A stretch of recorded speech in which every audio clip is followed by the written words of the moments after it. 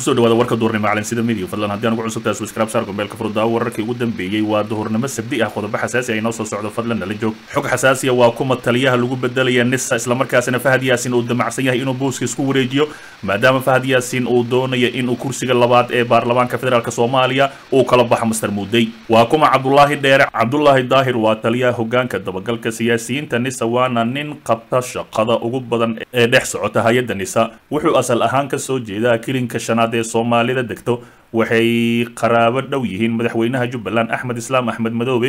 Hooyadiisana waxay ka soo jeedaa hargeysa waxaana abti u ah hogaamiyihii hore ee al-shabaab axmed gudane waxbarashadiisa sargaalkani ayaa la sheegayaa inuu haysto heerka koowaad ee jaamacadda waxaana jira kowrsooyin kala duwan oo uu ka sameeyey takhasus la xiriira arrimaha sirdoonka. Waa qofma shakhsiyadiisa dadka yaqaana ayaa sheegaya in uu yahay qof furfuran runtana ka gamban gacan furan islamarkaasina ballamada ku wanaagsan hase ahaatee waxaa lagu dhaliilaa in ay adag tahay marka horeba in uu ballan kula galo shaqooyinka uu qabto. Sargaalkani ayaa ka mid ahaa saraakiil dhalinyaro ahay oo loo tababaray dabagalka arrimaha kooxda al-shabaab waxaana loo magacaabay maktabadda la socota dhaqdhaqaaqa umuuraha al-shabaab intii u dhexaysay ilaa waxaana jagadaasi u magacaabay hogaamiyihii al-shabaab axmed godane oo abti u ah sargaalkani iminka la doonaya in lagu bedelo booska fahad yaasiin nisa intuu xafiiska jooga ayaa la sheegay in uu fuliyey dilal kala duwan kuwaasi uu la beegsaday amiiro ka tirsan al-shabaab iyo shacab soomaaliyeed aan waxba galabsanin. Waa markii uu ka soo baxay shabaab ayuu amiiro badan dilay. Dilal iyo shirqool badan uu maleegay sargaalkani oo gudaha shabaab loogu yaqaano shamiil ayaa horseeday in ay baxsadaan horjoogayaal sare oo ka tirsan al-shabaab kadib markii ay naftooda ugu baqeen.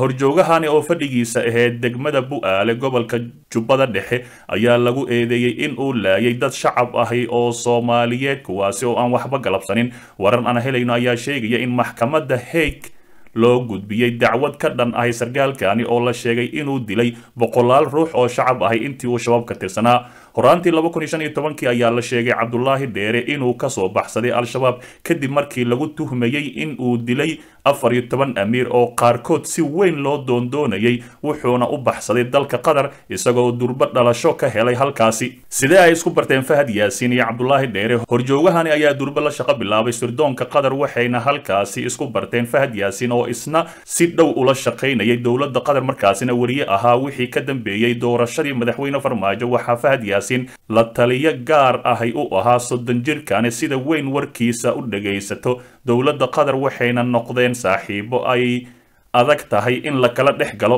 Taliyaha hogaanka dabagalka ayaa loo magacaabay cabdulaahi dheere kadib markii madaxweyne farmaajo loo soo jeediyey in amniga caasimadda wax laga bedelo. Mucaaradkana la xakameeyo maadaama ay doorashada soo dhowdahay.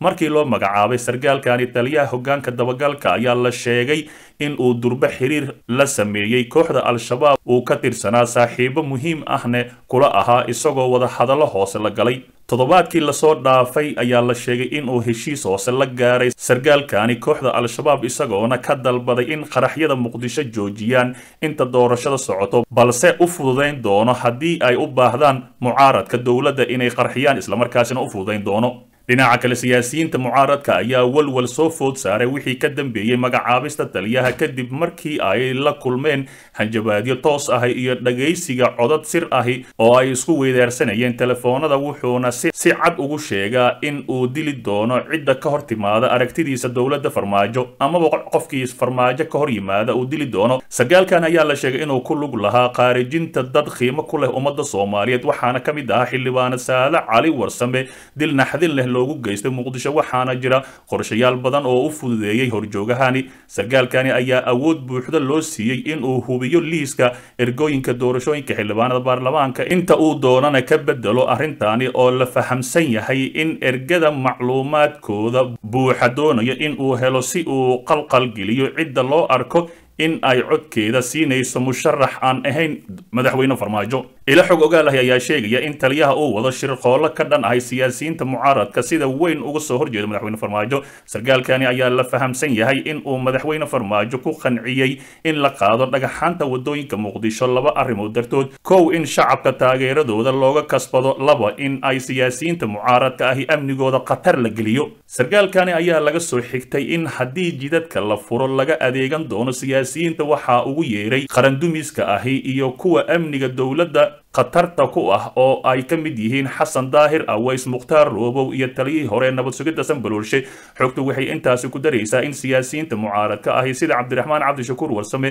xasan sheekh maxamuud sheekh shariif sheekh axmed qorshaha labaad kuna jiraan. Haddii la doonana qaraxyada loo fududayn doono yaa gadaal ka riixaya sargaalkaani fahad yaasiin oo dowladda qatar ayaa la sheegayaa in ay wadaan qorsho taliyaha nisa looga magacaabayo sargaalkaani marka uu boos ka banneeyo fahad yaasiin oo musharax xildhibaan ahi ujeedada qatar ay ka leedahay magacaabista sargaalkaani ayaa loo malaynayaa in doorashada soomaaliya ay awood u isticmaasho si ay u soo saarto mar kale madaxweyne farmaajo oo aad ugu dhagan nugul dowladda qatar sargaalkaani ayaa loo badinayaa inuu qabto jagada ugu sarreysa sirdoonka soomaaliya. Xog xasaasiya ra'iisul wasaare xasan cali kheyre oo la dhigay isbitaal ku yaalla magaalada istanbul iyo xaaladiisa caafimaad oo la soo warinayo warar lagu kalsoonaan karo oo aan ka helayno magaalada istanbul ee dalka turkiga ayaa sheegaya in xasan cali kheyre ra'iisul wasaarihii hore soomaaliya la dhigay isbitaal halkaasi ku yaalla islamarkaasina xaalad caafimaad loo geeyey. Wararka ayaa sheegaya in kheyre xaaladiisa caafimaad ee aada wanaagsan tahay hadda balse uu doonaya in jekin caafimaad ku sameeyo ama lagu sameeyo caafimaadkiisa guud maadaama sanadihii ugu dambeeyey saa-id ugu mashquulsanaa siyaasadda maskaxdiisane oo aysan fadhin islamarkaasina laga yaabay in uu xanuun ama dareemayo islamarkaasina jekin uu tagay. Kheyre ayaa la sheegaya in isbitaalka ku jiri doono saddex maalin iyadoo jekin guud lagu samayn doono xaaladiisa caafimaad. Wararka hordhaca ahi aan helayno ayaa sheegaya in dhakhaatiirta kula taliyeen in uu ka nasto siyaasadda iyo howlaha adag maadaama sanadihii la soo dhaafay. Si saa-ida u shaqaynaysay maskaxdiisa islamarkaasina lagula taliyey in uu arrimaha siyaasadda ka nasto. Kheyre ayaa haatan safaro siyaasadeed ku maraya dalalka saameynta ku leh siyaasadda soomaaliya waxaana uu ka mid yahay musharaxiinta haatan u taagan xilka madaxweynaha koowaad ee ugu saameynta badan dalka islamarkaasina uu yahay siyaasi aad u cadcad. Siyaasiyiinta xilalka sarsare ka soo qabtay dowladda soomaaliya ayaa xaalado caafimaad u tago dalalka caalamka ugu wanaagsan caafimaadka islamarkaasina jekin ku soo sameeya. Si kastaba ha ahaatee iminka ay sugayso loolan aad u adag ayaa iminka waxaa laga yaabaa inuu caafimaadkiisa sii hubinayo islamarkaasina maskaxdiisa daawo u sii qaadanayo maadaama ololo siyaaseed lagu jiro. Si kastaba ha ahaatee wararkayna xiga ayaan ku soo tabin doonaa xaaladiisa caafimaadka. Dhinaca kale dhulgariir xoogan oo ku dhuftay dalkaasi turkiga iyo khasaare badan oo la soo sheegayo. Dhulgariir xoogan ayaa shalay ku dhuftay badda ageenka waxaana laga dareemayaa dalka turkiga iyo gariika iyada oo dhismooyin badan ay ku burbureen magaalada ismir ee dalkaasi turkiga. Dadka ayaa isugu soo baxay waddooyinka magaalada loo dalxiis tago ee ismir sida ay sheegayaan goobjoogayaal kadib markii uu ka dhacay dhulgariir cabirkiisa lagu sheegay toddoba dhibic cibir wasiirka arrimaha gudaha turkiga sulaymaan soylu ayaa twitterka ku sheegay in lix dhismo ay ku burbureen laba degmo oo ka tirsan gobolka ismir hase yeeshee duqa magaalada ismir ayaa tirada dhismooyinkaasi burburay ku sheegay inay ku dhow yihiin labaatan. Wararka ayaa sheegaya in uu jiro khasaare nafeed oo xoogan balse weli ma cadda heerka uu la eg yahay. Suleymaan waxa uu sheegay in halkaasi ay ku dhinteen toban ruux lix gobol oo kalena laga dareemayo dhulgariirka balse ay jiraan guryo dhowr ahi oo halkaasi ku burburay. Ali yerli oo ah barasaabka istanbul halkaasi oo sidoo kale laga dareemayo dhulgariirka ayaa isna sheegay in wax khasaare ahi oo la soo warinin dhanka kale dadka degan jasiiradda samos ee dalka gariika halkaasi oo ay ku nool yihiin qiyaastii afartan iyo shan kun oo qof ayaa lagu booriyey inay ka fogaadaan xeebaha.